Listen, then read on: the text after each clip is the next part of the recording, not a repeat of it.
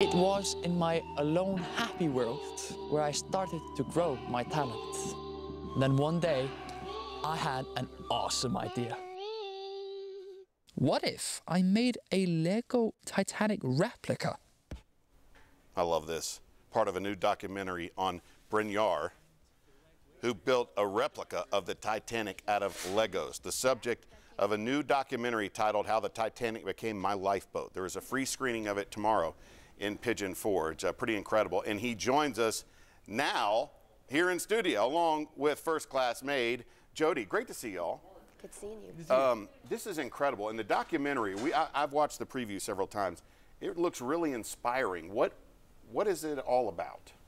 So basically, it's based on a true story on how I uh, basically overcame my obstacles when I was au- like very autistic and I had difficulties in social life. And this basically shows how this project helped out of my autistic fog. Wow. Just staying focused on this per- particular project. Why did you choose um, the Titanic? Well, it's purely for its history. It's just so nice to learn some. Obviously, history is amazing to learn uh, if you, well, if you like it, obviously. Uh, but the Titanic was very unique in a sense of way. It was just. It's hard to explain. Titanic is just unique. That's just one word to say it. It's just nice. Fascinating. It's just Yeah. fascinating. It's You, just you, fascinating. you are as well, and I mean that in a very complimentary way. I really do. Thank you so much. Um, let's talk about this documentary. You all are going to be showing it, right? Yes. At the Titanic. Pigeon Forge Cinema. Okay, Pigeon Forge Right Cinema. Right there in not Walding Ti- Landing. Okay, yes. Uh, they were Yeah. gracious enough to give us their whole theater, so 600 seats. Wow. Complimentary tickets. All you have to do is go to our website, titanicpigeonforge.com. Now, in the morning, um, we'll open the doors at 10 o'clock, so we will have first come, first serve. and it's always packed in. I know It whatever is. you all do is packed in. Um, will you be there to to welcome people? Obviously, and the best thing is that it's free. It's free, to uh, go to the cinemas and This see is its document- premiere. No one in the world has seen this. They've chosen Pigeon Forge That is so for the world premiere. I- It's gonna premiere, so it's a month before premiere, so it doesn't go to the public until in April. So I think this is a very big opportunity f- for people to understand autism and also know me more as a person and more about the project. I think this is a very good opportunity to go to Pigeon Forge and see the amazing documentary that like I and my family have made. It's amazing. That is, you know, the In my opinion, typical. Mary and, and Titanic up there getting this movie first, right? Yeah. Of course.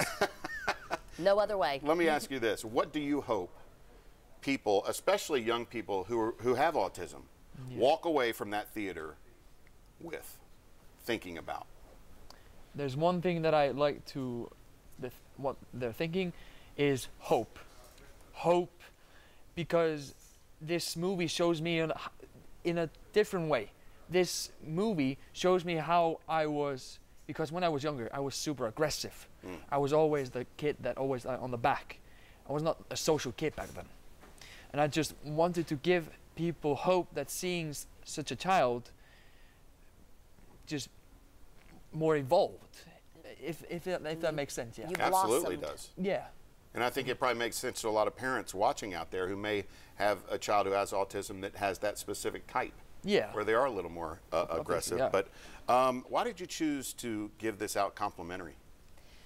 We want everyone to see it. And that is part of what his mother wants. She wants, once it hits the mainstream, you can contact his mom and you can show it at your um, workplace. You can show it at your church. And one of her stipulations is free. Free. We want people to see what it's like to have people with autism in their workplace. One of the people in his documentary is Jeremy, who works with us at the Titanic. Hmm. That they can train their weaknesses is what you've been telling the boys and girls all this week. Yes. Train your weaknesses, and Yeah. you can do anything. Well, this is terrific. Absolutely. Pleasure meeting you.